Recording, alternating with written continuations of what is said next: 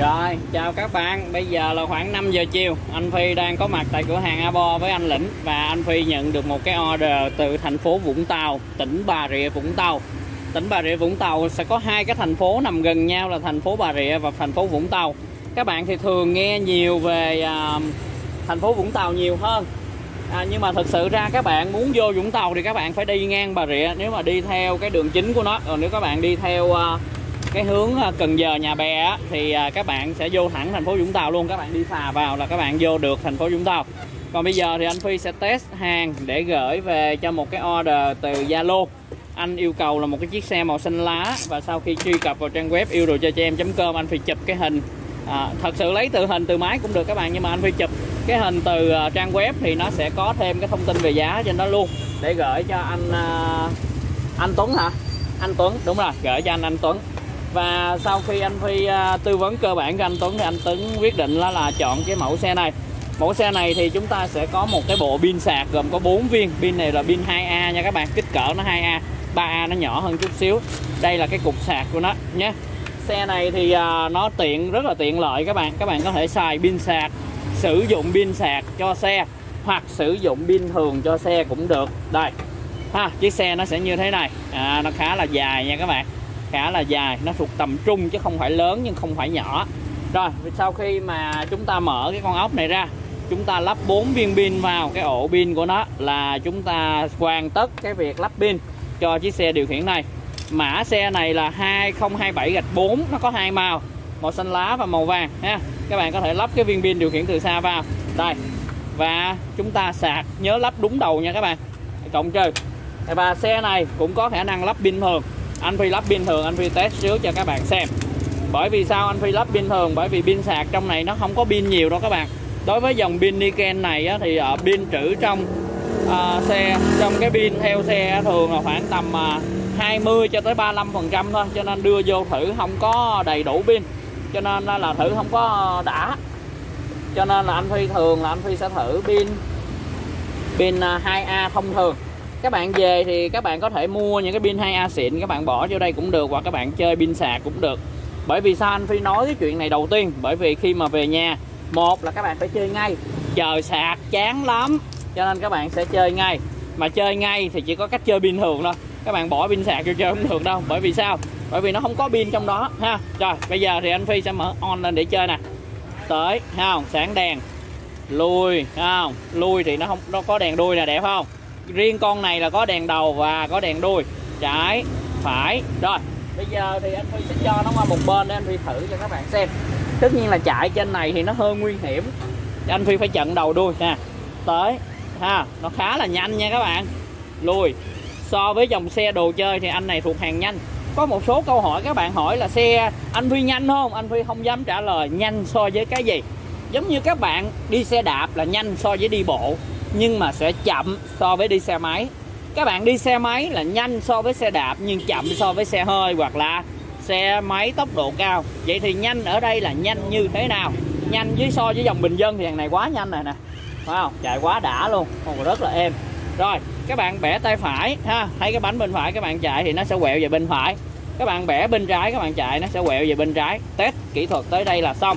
Nhưng anh Phi muốn hướng dẫn các bạn cái phần pin sạc. À, các bạn về nhà, các bạn gỡ chơi hết cái pin này đi, hết cái pin này nha, hết cái pin này. Rồi, xong sau đó các bạn lắp 4 viên pin sạc, đúng đầu cực nha, đầu bằng vào lò xo. Anh Phi tháo ra cũng được các bạn, thôi tháo ra luôn đi ha. Nhưng mà một chút xíu nữa anh Phi sẽ cho vô một cái túi sợ bịch, bóp nha. Anh Phi sẽ hướng dẫn việc sạc, nè, đầu bằng vào lò xo nha. Rồi, và anh Phi sẽ mở on lên cho các bạn xem, nè, chạy tới, nó vẫn chạy rất là ngon lành ha, vậy là có pin. Các bạn, cái anh này pin nhiều nè. Rồi, vậy lắp vậy luôn ha. Không, anh Phi sẽ không lắp như vậy đâu các bạn nhé. Mà là anh Phi sẽ lắp như vậy. Phải lắp như vậy mới được rồi.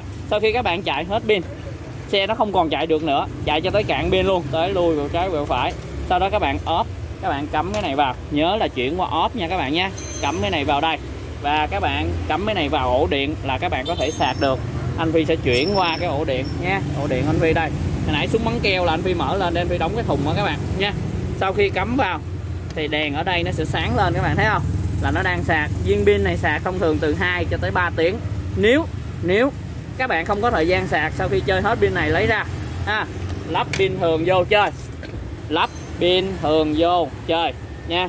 Chơi cho đã đi rồi khi nào các bạn cảm thấy cảm thấy là rảnh rỗi thì đem đi sạc. Bằng cách là chuyển nó về off, cắm cái này vào và cắm vào ổ điện. Sạc trong khoảng từ 2 cho tới 3 tiếng là pin nó sẽ đầy và chúng ta tiếp tục chơi. Ok chưa? Rồi, bây giờ thì anh Phi sẽ hoàn tất cái việc đóng hàng của mình. Bằng cách là thử lại lần cuối. Tới tới ngon lành chưa? Lùi quẹo trái quẹo phải. Và những viên pin này ở đây nó hết chức năng rồi anh Phi chỉ thử cho các bạn thấy rằng là lắp pin thường vô vẫn chơi ok nhưng của nó sẽ là pin sạc. Và ở đây thì anh Phi cũng sẽ lắp thêm một con ốc nữa. Đó, về nhà các bạn có thể ghé ngoài tiệm điện các bạn mua cái con vít ba ke này nè để dành chơi đồ chơi nha. Ở tiệm điện thì họ bán cũng rẻ thôi các bạn 10 ngàn 20 ngàn cây à. Đó, có thể các bạn mua cái cây nhỏ hơn cũng được ha. Rồi ok ha. Đó. rồi xong tất cả mọi thứ. Cái này cũng xong luôn ha. Rồi chưa đóng lại và về nhà các bạn chỉ cần mở on lên là chúng ta chơi thôi. Và chúng ta off khi sạc nhé nhắc lại off khi sạc. Và bây giờ thì anh Phi sẽ đóng cái hộp hàng này lại bằng cách là anh Phi vặn những cái con ốc này lại ha. Đây gọi là ốc nhựa nha các bạn. Những con ốc này là gọi là ốc nhựa. Ốc như nó làm bằng nhựa nó có cái miếng gài ở đây nè rất là tiện lợi nha. Nhưng mà à, nó bằng nhựa nha. Các bạn vừa dặn vừa tay tới thôi là các bạn có thể ngừng được rồi còn cái cục sạc thì anh Phi sẽ cho vào. Đây, để Phi cho vào hộp. Nha. Đây, cho vào hộp. Và anh Phi sẽ cho nó vào. Đây, nha. Cho vào đây nè. Vào đây, ha. Khi rút ra cẩn thận coi chừng rớt nó nha. Rồi, xong. Sau khi xong xuôi hết mọi thứ thì anh Phi sẽ cho nó vào một cái hộp nữa. Nó gọi là cái hộp bảo vệ phía bên ngoài. Rồi dán cái tem vận chuyển và gửi về à, phường 12 thành phố Vũng Tàu tỉnh Bà Rịa Vũng Tàu. Ha cái tỉnh có cái tên khá là dài. Xong ha các bạn ha. Và tất nhiên là anh Phi sẽ chêm ở đây một số một à, miếng giấy nho nhỏ để cho nó đừng có bị à, lúc lắc ha. Rồi dán cái tem vận chuyển lên. Giấy vận chuyển nè ha.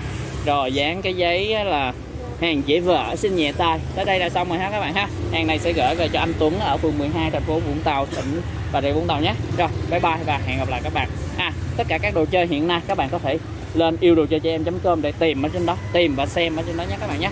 Các bạn có thể đặt hàng trực tiếp từ trên đó cũng được, hoặc các bạn có thể à, đặt qua Zalo của anh Phi cũng được. Rồi, bye bye và hẹn gặp lại các bạn.